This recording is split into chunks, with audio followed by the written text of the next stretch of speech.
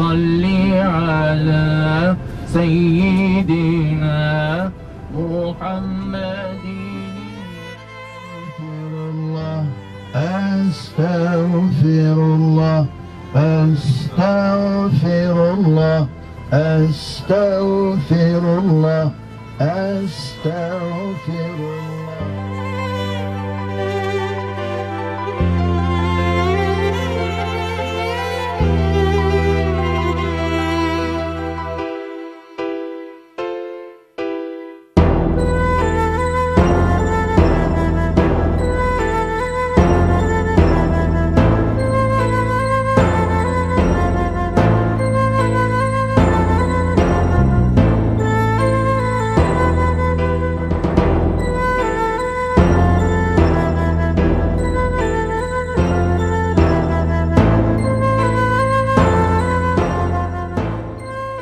Bu bir nasip meselesi.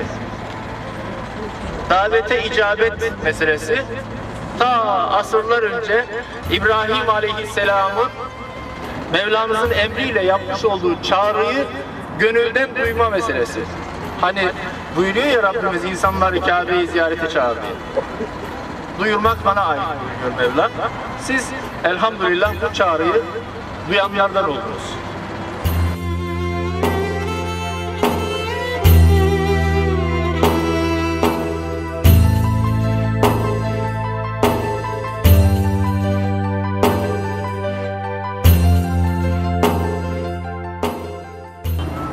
Öyleyse iyi bakın Uhud'a.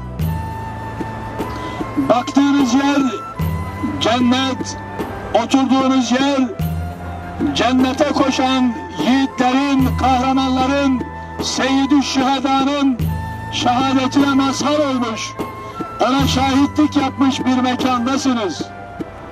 Oturduğunuz yer Okçular Tepesi'dir. Abdullah bin Cahş'ın Mehmet tuttuğu yerdir. İşte biz de bugün buraya Mehmet'e geldik. Yerimizde sabit kalmaya geldik. Allah'ın dinini korumaya, gençliğimizi, enerjimizi, gücümüzü, zamanımızı tahsis ederek baki kalan ömrümüzü biz de bu yolda devam ettirmeye ve bu yola bir aday olmaya bu azimle, bu gayretle, bu şuurla, bu inançla ve bu heyecanla şu anda buradayız. Peygamber sallallahu aleyhi ve sellem orada yanında Hazreti Ebu Bekir radıyallahu anh, Hazreti Ömer varken Eb- Ebu Sufyan bağırıyor.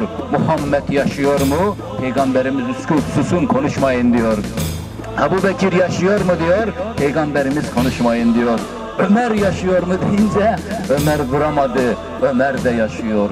Hazreti Ebu Bekir de yaşıyor. Muhammed Mustafa da yaşıyor.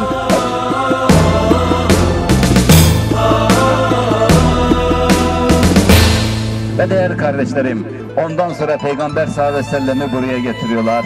Burada Peygamberimiz şehitleri tanımaya çalışıyor. Hamza tanınmayacak bir halde. Hamza'nın karnı yarılmış, gözleri çıkmış, kulakları Allah aşkına söyleyin. Biz namaz için kalkmıyoruz. Evimizdeki raftaki Kur'an'ı elimize almıyoruz. Verirken eski elbiselerimizi veriyoruz. Hamza kollarını vermiş, karnından ciğerini vermiş. Musab kollarını vermiş, kulağı kesilmiş, gözü kesilmiş. Allah Resulü sallallahu aleyhi ve sellem Hamza'nın başında durduğu zaman lütfen dikkat edin. Ey yerlerin ve göklerin aslanı Hamza, yas tutmak caiz olsaydı senden sonra gülmezdim. Ne demek biliyor musun? Yandı sana yüreğim Hamza demektir biliyor musun? Hamza onun hem amcasıydı hem de süt kardeşiydi. Benim değerli kardeşlerim tam o hangemede Hazreti Ebu Bekir baktı ki yanına bir kız çocuğu geliyor.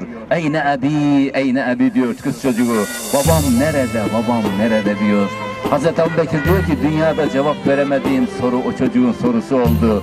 Çünkü çocuk Hamza'nın kızıydı diyor. Diyemedim ki baban öldü diye.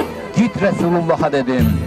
Sallallahu aleyhi ve sellem ne cevap verecek diye baktım diyor.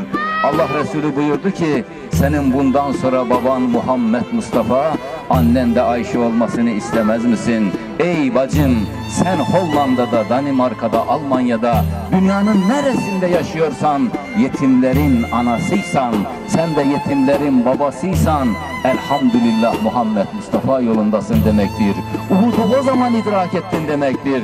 Ama size bir müjde veriyorum. Elhamdülillah milli görüş yetimlerin anasıdır. Milli görüş yetimlerin babasıdır. Vallahi biz bu duygularla buraya geliyoruz.